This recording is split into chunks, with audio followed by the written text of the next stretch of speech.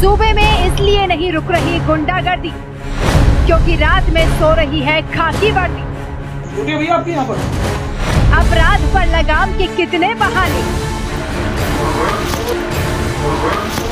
कैसे होगी सुरक्षा जब नींद में हो